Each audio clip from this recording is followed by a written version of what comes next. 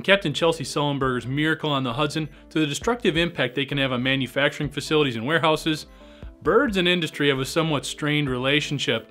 In an effort to keep both parties safe and happy, a company called Clear Flight Solutions has introduced the Robird. Resembling either a falcon or eagle, these remotely controlled robotic birds of prey are designed to resemble their living counterparts in driving smaller birds from an area. Flapping wings not only propel the Robirds, but also help reinforce the presence of something a little higher up on the food chain.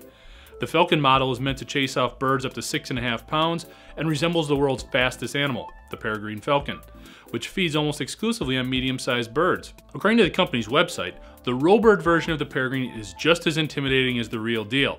After a couple of flights, the bird population understands that they are living in a dangerous hunting territory and will take their business elsewhere.